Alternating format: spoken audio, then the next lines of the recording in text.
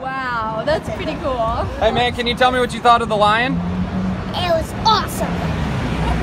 Is it really cool? Yeah. What was your favorite part? Love it. All of it? Oh, yeah. That's really cool. Well, hopefully we'll see you there, huh? Um, yes. Do you want to go tomorrow? Sure. Okay.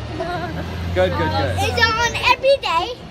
We have two more days. Oh. Two more performances. Okay. yeah, Hey everybody, we are here about to enter the uh, tattoo. Super excited about this. This is a huge, huge event.